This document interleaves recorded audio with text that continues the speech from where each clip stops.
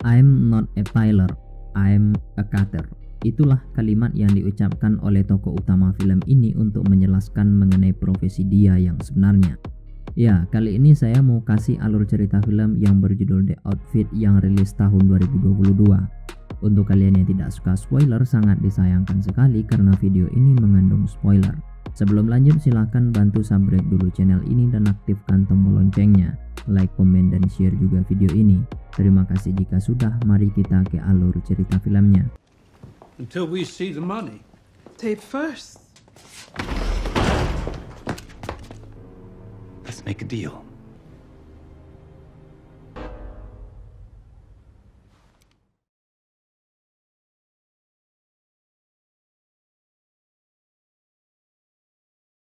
Bertempat di Chicago tahun 1965, cerita dimulai di toko jahit milik pria bernama Borling yang sepanjang film ini selalu dipanggil English karena dia berasal dari Inggris.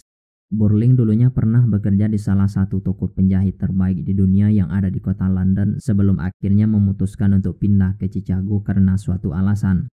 Dia menjalankan toko tersebut dibantu oleh seorang asisten yang sangat cantik bernama Mabel. Keterampilan Burling sudah cukup dikenal di kota tersebut dan sudah memiliki beberapa pelanggan tetap. Hanya saja mereka bukan sekedar pelanggan biasa. Toko itu memiliki sebuah kotak kunci yang terletak di ruangan belakang di mana Burling biasa memotong dan menjahit pakaian. Kotak itu digunakan oleh kelompok mafia keluarga Boyle untuk menerima amplop dari orang-orang yang bekerja sama dengan gengnya. Hanya saja sepanjang film ini kita tidak pernah mengetahui isi amplop tersebut tapi dari bentuknya kita bisa menebak amplop itu berisi uang. Malam harinya amplop itu akan diambil oleh anak Boyle bernama Richie bersama tangan kanan ayahnya yang bernama Francis. Namun Berling tidak peduli dengan kedatangan mereka dan tidak pernah bertanya mengenai isi amplopnya atau mengenai bisnis yang mereka jalani. Malam itu Francis menemukan sebuah amplop yang dikirim oleh salah satu kelompok mafia dengan nama The Outfit yang nanti akan dijelaskan lebih detail. Hal itu membuat mereka terlihat kaget karena The Outfit bukan anggota Boyle. Mereka menyuruh Burling untuk menunggu di meja resepsionis karena Richie dan Francis ingin mengecek isi amplopnya. Burling hanya menuruti perkataan mereka dan tidak komplain apalagi bertanya. Di meja resepsionis, Mabel menunjukkan hadiah yang diterimanya dari seseorang. Hadiah itu merupakan bola salju kaca menara Big Ben. Mabel kemudian mengungkapkan keinginannya pergi berkeliling dunia suatu hari nanti. Dia ingin mengunjungi London, Menara Eiffel, atau Madrid dan Barcelona. Mabel mengaku iri dengan Berlin karena dia bisa pergi ke mana pun yang dia mau lalu membuka toko di sana. Tapi Mabel cukup heran dengan keputusan Berlin yang lebih memilih kota Chicago. Setelah Richie dan Francis pergi, Burling memberitahu Mabel kalau orang yang bekerja di toko jam dekat toko mereka datang ke sana untuk mencarinya. Namun Mabel justru tidak tertarik dan meminta Burling tidak mengkhawatirkannya. Rupanya Mabel memiliki hubungan khusus dengan Richie karena Burling sempat melihat mereka beberapa kali saling memberikan kode. Burling merasa khawatir dengan keselamatan Mabel karena Richie adalah mafia. Tapi Mabel meminta Burling tidak perlu khawatir karena dia bisa menanganinya dan tahu seperti apa bejatnya keluarga Boyle. Mabel bahkan mengingatkan Burling kalau mereka bukan ayah dan anak. Meski begitu, dia tetap mengkhawatirkan siapa yang akan merawat Burling ketika nanti berhenti bekerja di toko tersebut. Burling kemudian berkata kalau Mabel bukan putrinya dan dia tidak membutuhkan Mabel untuk merawatnya. Mendengar itu, Mabel meminta kenaikan gaji agar bisa segera pergi berkeliling dunia membuka tokonya sendiri seperti impiannya selama ini. Namun, Burling meminta dia memperbaiki kinerjanya terlebih dahulu sebelum gajinya dinaikkan. Malam itu, Burling bekerja sampai larut malam hingga dia ketiduran. Dia sempat bermimpi melihat kobaran api sebelum akhirnya terbangun karena seseorang masuk ke tokonya.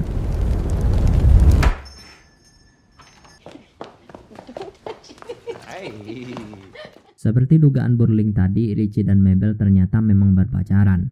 Entah apa tujuan Mabel mengajak kekasihnya itu nongkrong di sana. Padahal kosan Mabel sendiri tidak jauh dari toko tersebut. Kalau mau berbuat macam-macam ya mendingan di kosan Mabel kan? Malam itu Richie terlihat sedikit bad mood karena Francis mengira ada pengkhianat di geng mereka yang menjual informasi kepada kelompok mafia La Fontaine. Richie sebenarnya tidak terlalu memikirkan perkataannya, tapi ayahnya justru sangat mempercayai Francis yang membuat Richie sakit hati. Richie kesal karena ayahnya lebih mempercayai Francis dibanding dirinya. Padahal Francis bukanlah anggota keluarga Boyle. Dia cuma orang asing yang pernah melindungi Boyle dari enam tembakan. Boyle yang merasa berhutang budi menjadikan Francis sebagai orang kepercayaannya. Tapi Richie tidak pernah menyukainya dan tidak percaya dengan narasi pengkhianat tersebut karena selama ini Francis sangat paranoid.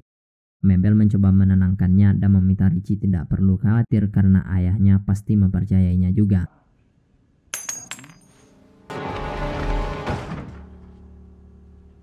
Mabel langsung mengajak Richie pergi karena tidak ingin membangunkan Burling. Setelah itu, hari-hari kembali berjalan seperti biasanya. Richie dan Francis kembali datang untuk mengambil amplop di dalam kotak kunci. Mereka kembali menemukan amplop yang dikirim oleh The Outfit yang diketahui berisi selembar surat dan sebuah kaset. Sampai akhirnya cerita dan jalan hidup Burling berubah saat suatu malam Richie dan Francis mendatangi tokonya karena mendapatkan masalah.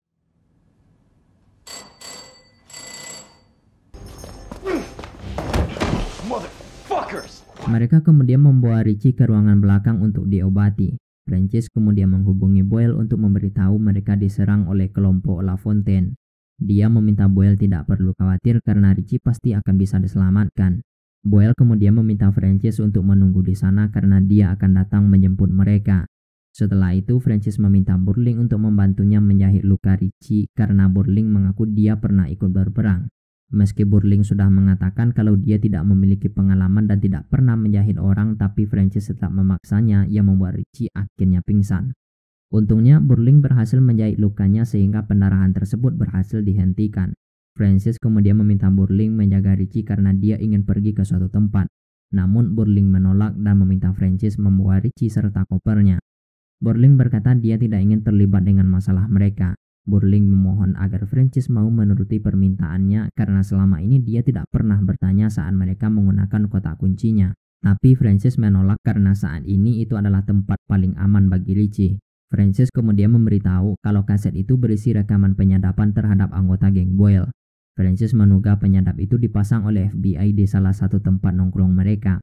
Penyadap itu dipasang oleh seseorang yang sudah mengkhianati kelompok tersebut. Mereka tadinya berniat memutar rekaman itu di suatu tempat, tapi La Fontaine mengetahui dan menyergap mereka yang membuat Richie akhirnya terluka.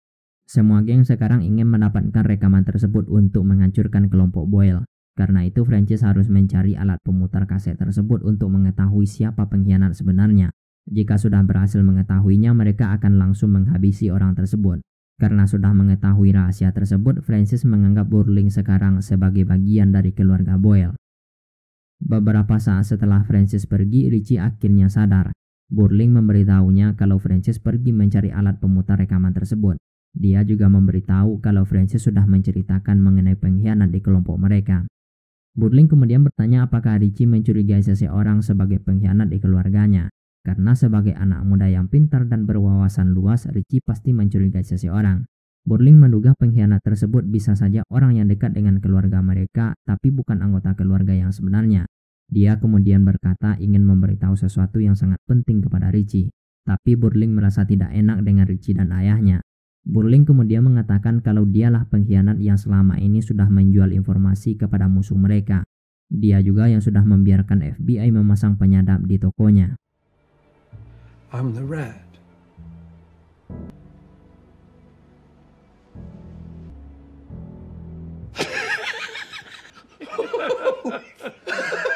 Richie berkata Burling tidak mungkin menjadi pengkhianat karena dia hanya seorang penjahit. Mendengar itu, Burling memberitahu kalau dia bukan seorang penjahit, tapi dia adalah pemotong. Ada perbedaan di antara keduanya. Tukang jahit hanya menjahit kancing dan celana panjang yang mana siapa pun bisa menjadi penjahit dalam waktu 15 menit asal memiliki benang dan jarum. Sementara Burling sudah belajar lama menjadi pemotong di salah satu toko terbaik di dunia saat di London yaitu Darrow. Burling menghabiskan waktu yang lama untuk magang di sana sebelum mereka memperbolehkan dia membuka tokonya sendiri. Burling kemudian memberitahu alasannya pindah ke Chicago karena perang. Namun bukan perang dalam artian sebenarnya karena perang yang dimaksud adalah perang dagang. Setelah perang bedil-bedilan, masyarakat Inggris mengalami krisis keuangan. Selera masyarakat juga berubah dari barang mewah beralih kepada jeans biru. Meski orang menganggap blue jeans adalah mode, tapi Burling percaya itu tidak akan bertahan lama karena akan muncul mode baru yang lebih populer untuk menggantikan blue jeans. Sedangkan setelan yang dia buat itu tidak akan ada matinya karena orang-orang yang menyukai kualitas akan tetap membuat dan membelinya. Setelah itu Burling memberitahu kalau Francis ngotot mencari pengkhianat yang dia maksud tadi. Entah apa alasannya tapi Burling curiga kalau mungkin sebenarnya Francis lah pengkhianat tersebut. Tapi bisa jadi bukan dia orangnya. Karena kalau Francis mengkhianatinya, dia tidak akan mungkin meninggalkan kopernya di sana. Karena itu, Richie tidak perlu khawatir karena Francis juga sudah seperti keluarga bagi Boyle. Saat itu Francis akhirnya sudah kembali ke sana. Kepada Francis, Burling malah memberitahu kalau Richie mencurigai dia sebagai pengkhianatnya. Burling berkata kalau Richie tadi terus mengacak-acak koper yang ditinggalkan oleh Francis tadi seperti sedang mencari sesuatu. Dia kemudian mengajak Francis ke ruangan belakang karena Richie masih ada di sana. Richie mulai mengintimidasi Francis karena termakan kata-kata Burling tadi. Dia bertanya dari sekian banyak tembakan yang dilepaskan oleh anak buah La Fontaine, kenapa hanya dia yang terkena tembakan sementara Francis tidak. Mendengar itu, Francis menganggap kalau dia sedang beruntung dan juga karena keterampilannya yang hebat. Francis kemudian memberitahu kalau dia akan membawa kaset itu ke tempat pemutar audio sekarang juga. Tapi Richie melarangnya dan meminta menunggu Boyle karena ayahnya itu akan segera tiba di sana. Namun Francis kembali menolak dan tetap ngotot mendengarkan rekaman itu sekarang juga agar bisa mengetahui pengkhianat di geng mereka. Semakin lama mereka menemukan pengkhianatnya, nyawa Boyle juga akan semakin dalam bahaya. Mendengar itu, Richie pun memutuskan untuk ikut bersamanya. Tapi Francis melarangnya karena kondisi Richie masih lemah dan di luar ada banyak musuh mereka. Richie dan Francis akhirnya bertengkar untuk memperebutkan kasetnya hingga mereka saling todong.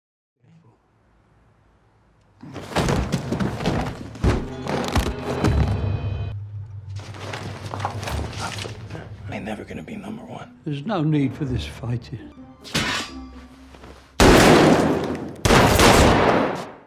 Francis sudah mencari kasetnya di semua tempat namun tetap tidak menemukannya. Tidak lama kemudian Boyle sudah tiba di sana untuk menjemput mereka. Francis yang tidak ingin dibunuh meminta Burling untuk menyembunyikan mayat Richie di dalam peti. Setelah itu Francis meminta Burling untuk mengulur waktu agar dia bisa membersihkan darah yang ada di lantai. Mereka akhirnya berhasil menjalankan rencana tersebut sehingga Boyle tidak mengetahui Richie sudah meninggal. Francis memberitahu Boyle kalau Richie tadi pamit keluar mencarinya. Dia sudah berusaha melarangnya tapi Richie tetap ngotot seperti biasanya karena dia memang keras kepala. Francis juga memberitahu kalau Richie membawa rekaman dari The Outfit tadi, namun Richie tidak memberitahu dia akan pergi ke mana. Boyle langsung menghubungi temannya untuk menanyakan keberadaan Richie, tapi tentu saja tidak ada yang mengetahuinya. Boyle lalu menyuruh Francis pergi mencari anaknya dan dia harus berhasil menemukannya. Setelah itu, Boyle mendatangi ruangan kerja Burling dan sempat menyentuh guntingnya. Burling berkata kalau dia tidak ingin sembarangan orang menyentuh gunting tersebut karena itu adalah gunting pertama dan satu-satunya saat dia pertama kali datang ke Chicago. Burling juga menggunakan gunting itu untuk memotong semua pakaian yang dia buat. Boyle kemudian menunjukkan pistol yang selama ini digunakan untuk membunuh banyak orang di kota tersebut. Boyle lalu menceritakan kalau ada sebuah organisasi mafia bernama The Outfit.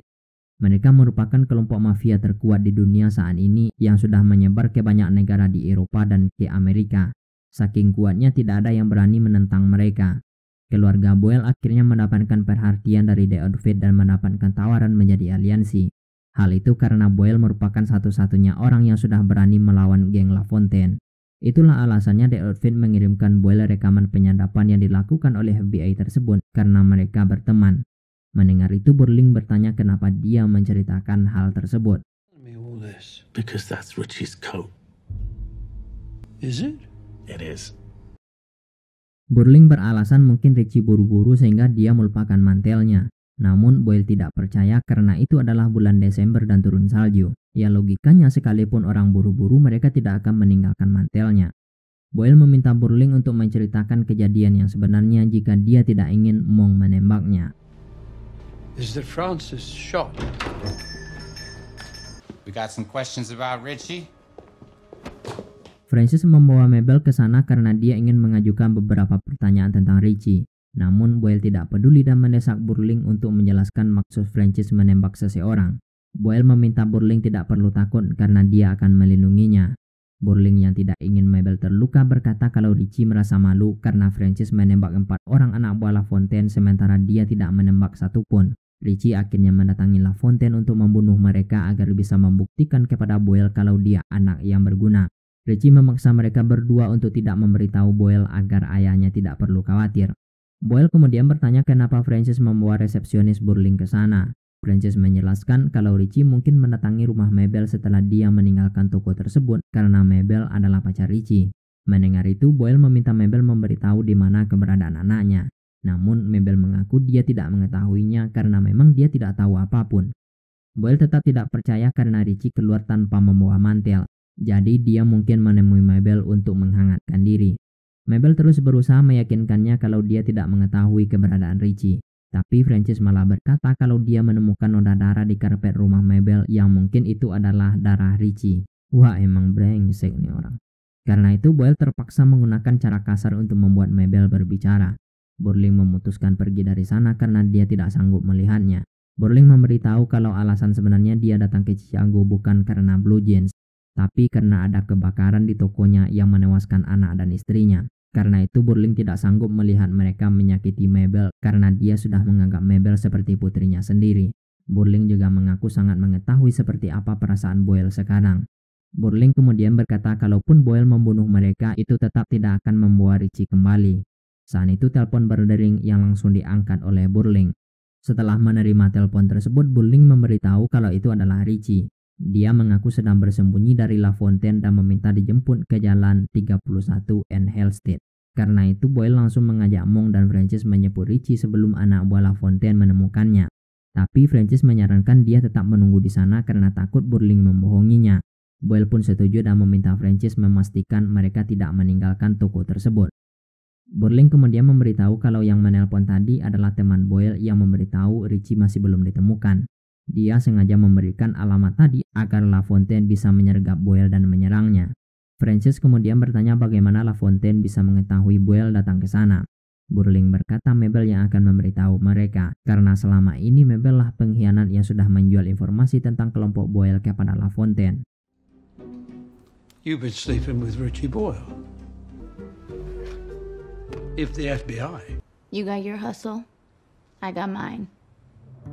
Mabel awalnya cuma pacaran lalu tidur dengan Richie, hingga akhirnya dia melihat kesempatan itu untuk menggali informasi keluarga Boyle lalu menjualnya kepada La Fontaine karena Mabel membutuhkan uang untuk pergi dari Chicago. Tapi Mabel tahu cepat atau lambat Francis pasti akan mengetahuinya. Karena itu, dia meminta bantuan FBI dan memesan penyadap di toko tersebut. Jika FBI berhasil meringkus semua anggota Boyle, maka tentu saja Mabel akan aman dari ancaman Francis. Burling kemudian memberitahu kalau dialah yang sudah menyembunyikan rekaman tersebut dan menunjukkannya kepada mereka. Selama ini Burling sebenarnya juga sudah mengetahui perbuatan Mabel dan tidak menghentikannya karena dia tahu Mabel membutuhkan uang dan punya impian yang harus diwujudkan.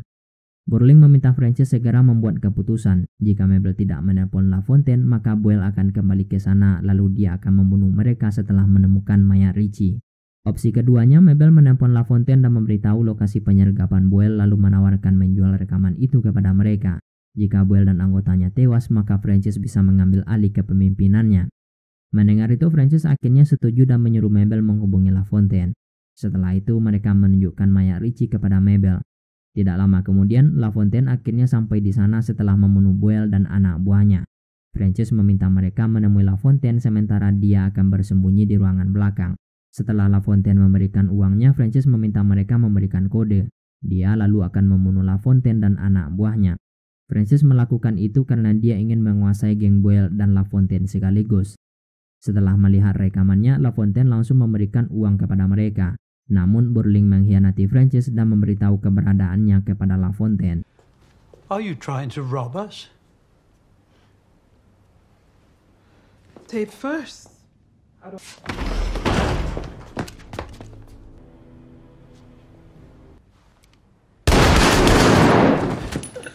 Burling akhirnya memberitahu kalau dia yang sudah memasukkan amplop berlogo The Outfit tadi untuk menciptakan kegaduhan dalam organisasi Boyle untuk membantu Mabel. Rekaman yang diberikan kepada La Fontaine tadi sebenarnya juga rekaman palsu karena Burling sudah mengganti rekaman tersebut. Sedangkan rekaman aslinya sendiri masih disimpan oleh Burling. Dia meminta Mabel menyerahkannya kepada FBI agar mereka bisa menangkap sisa anggota Boyle dan anggota La Fontaine. Burling juga menyuruh Mabel pergi berkeliling dunia seperti keinginannya menggunakan uang tersebut. Sedangkan dia sendiri juga memutuskan untuk pergi dan membakar tokonya. Namun ternyata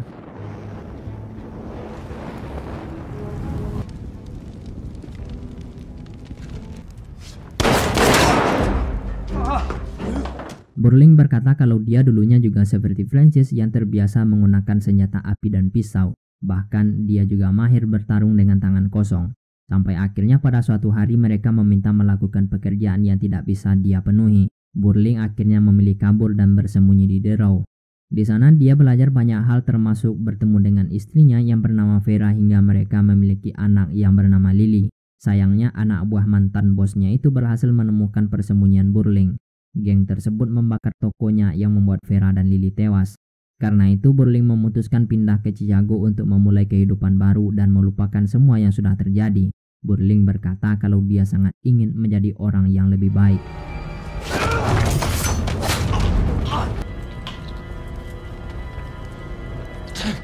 Burling akhirnya meninggalkan kota tersebut untuk memulai kehidupan baru di tempat lain dan filmnya pun tamat.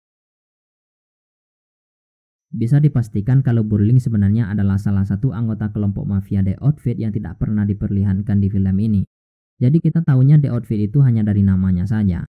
Hal itu bisa diketahui saat Burling mengakui dia yang sudah memasukkan amplop tersebut ke dalam kotak kunci. Kalau bukan anggota The Outfit, Burling tentu tidak akan tahu logo kelompok mereka dong. Karena film ini hanya mengambil satu lokasi, maka kita dituntut untuk berimajinasi seperti keinginannya sang sutradara. Kita tidak pernah melihat baku tembak antara La Fontaine dan Boyle. Kita tidak melihat apa yang terjadi saat Richie tertembak. Semua itu hanya kita ketahui dari narasi karakternya saja. Ya sudah sekian dulu bacotan kita kali ini. Tetap jaga kesehatan, sampai jumpa lagi kita di alur cerita film berikutnya.